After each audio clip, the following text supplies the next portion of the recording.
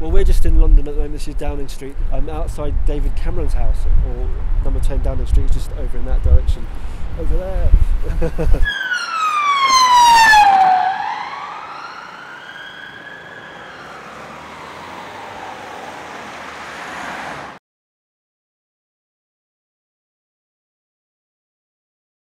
It came off the back of a, a protest that happened. Um, I think it was a people's a people's march or people's or people's assembly. That's right. You gather you gathered up people's assembly as a big sound system, and then they kind of broke away in the sound system, then broke out, and then we had our own congregation. With probably 80, some 80 people there.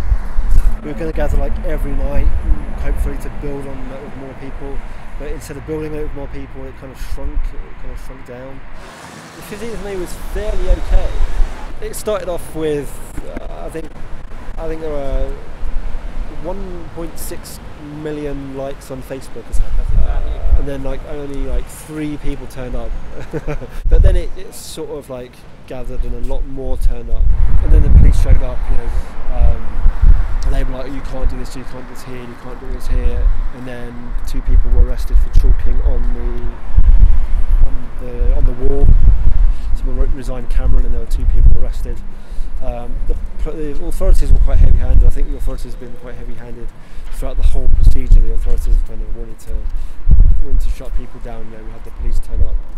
Were there any other moments when the police interfered, like you know, your slogans or your banners, your Um, not really for not really for banners. No, not really for banners, banners or slogans. Just um, I think I think that just, just that one time there was a, guy who was quite rowdy. He was drinking though. He, he turned up with alcohol. and He was quite rowdy. And the police took him to one side and, and said, "Look, you can't this, you can't this, you can't this."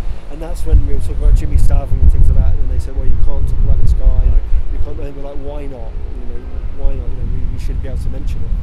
But they're like, "Oh, you can't do that, or you'll be arrested." I think.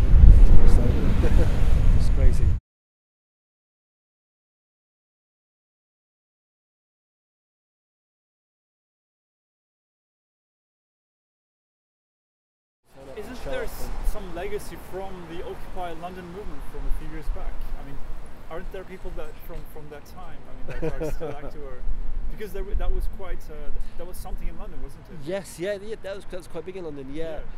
perhaps, perhaps there was. Yeah, perhaps there, perhaps there was something from the Occupy movement. But where are those people now? I think, I think those people have probably set up events themselves and probably thought, you know, no one's turned up to this. I'm just going to leave it. I'm not going to become an activist anymore. I'm not going to get involved and become discouraged with that. I see, I see, I see. you know, I think it's, it's because they thought themselves, yeah, you know, I'm, I, I've done this, I've done all that I can. Yeah, like turning up to somewhere and then no one else showing up, and you've travelled all the way across London as well. Because it's expensive to travel, it's Yeah, expensive to get into yeah. London. And most people are saying about the cost of getting into London, and the other people are saying, you know, perhaps other people just got different things to do, perhaps people are just so busy. But we need, we need a guy to turn up and just camp here and just say, or we need a group of people to just turn up and camp here and say that we're not leaving until the government have gone, like they did in Egypt. Egypt and then Yeah. I mean, many other places. Yes, uh, yeah, yeah. Spain. Yeah, Egypt and Spain and Greece. Turkey, Brazil. Yeah, yeah. That's what we need here now. I'm going to carry on protesting and carry on demonstrating. I'm a bit disillusioned by everything now. Um, because getting arrested, because I do lots of political art, so I'm, I want to I want to do more political art, but not for a while because I get arrested quite a lot, and it's quite draining when you get arrested. And lawyers about 190 pounds an hour.